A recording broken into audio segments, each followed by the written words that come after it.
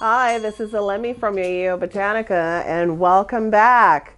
This week we're going to have a little class on making a spiritual bath to bring forth clearance, cutting away any kind of blockage, and kind of opening the way, but really kind of cutting things away.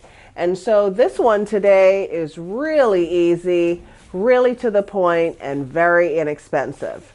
So we have basil all from the supermarket. So I like to call this supermarket magic. Rosemary, smells really, really good. Thyme, all of which we cook with, really smells nice. And fresh sage. And so a lot of times people see this and they wonder, is this the same sage that they burn? Um, there are so many different types of sages. This can be dried and burned also, but this is fresh sage. I have a little Florida water and we have our basin of water.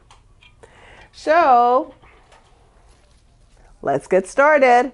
So the purposes of putting together a spiritual bath, uh, herbs are maybe one of the strongest things that you can ever use to clear yourself, clear your environment, bring something forward. It's natural.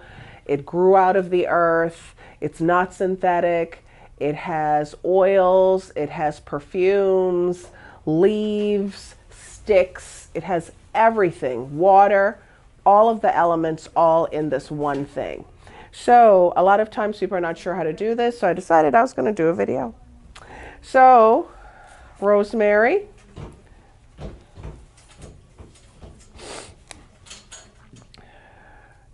So to do a really good ritual, I would advise you to uh, take this bath over a minimum of three days. I don't think seven days is necessary. You can do three days, and then after the three days, maybe you take a day of rest and then you do something that's really, really strong attraction. But this bath definitely will bring forth attraction, cleansing, breaking, um, if people have um, some craft on them, this is good for that. They feel that they're just having blockage and uh, things just aren't seeming to come together and work out. This is great for that also. Um, I'm doing this in a basin because a lot of people do not have bathtubs or they don't have time or want to make time to take a bath in a bathtub. So for those of us who have a very hectic lifestyle, this is perfect to do. This bath is also a bath that can be used on children. Um, I like to use things that are good for everyone. Uh, there's nothing harsh in here, but everything in here is very strong now that we put it all together. So this is thyme. Oh my gosh, it smells so good. Not to mention the fact that I could use some lunch. so we have sage. I'm going to put some sage. And fresh sage is, is should be pretty easy to find in most supermarkets. A lot of people like to cook with it, um, but it's fantastic for a spiritual bath. And see, it's got these leaves that are kind of fuzzy a little bit. You know, they've got this kind of almost feels like a tongue. And then on the back has this nice um, kind of felt feeling.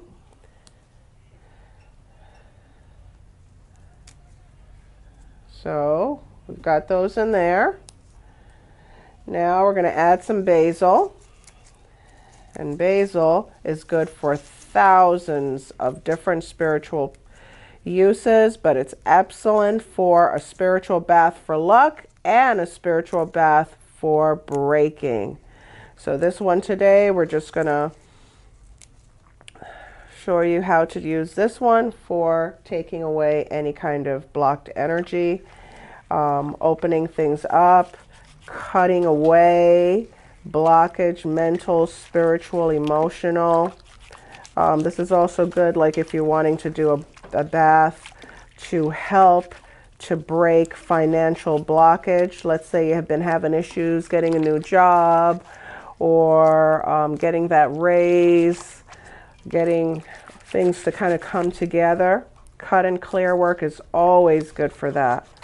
And so, as you can see, starting to get more and more green. You want to massage this while praying about what you want.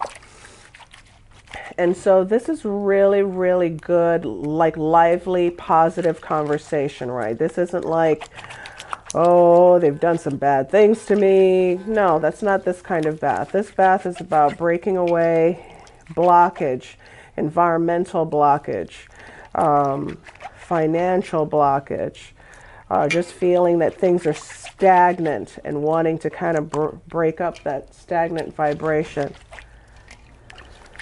Got someone coming in. We're going to ask them to be real quiet. so this is kind of your method, right? You can do this any way you want. Some people like to put this stuff in a food processor. I don't really care how you do it. But the more of your essence and your ashe, as we call it, your power that's in here is better for you. So now we would have kind of broken all of these up. Some people love kind of being in the tub with the herbs and everything floating around, or you can scoop it up and pour it on yourself. I'm going to add a little bit of Florida water, which is um, just a touch of Florida water. Oh my gosh, this is like beyond good. You can also use this like a splash, you know, you can splash all over yourself. Um, I would personally sprinkle some of this on the floors in my house or take a little bit in a bucket and mop my house.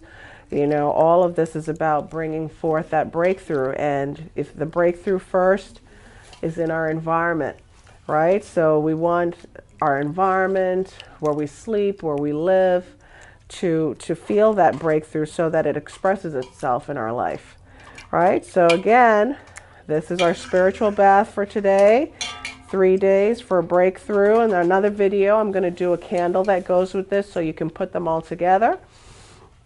And this is a Elemi from Yeyeo Botanica. Uh, Ashe and good luck. See you next time.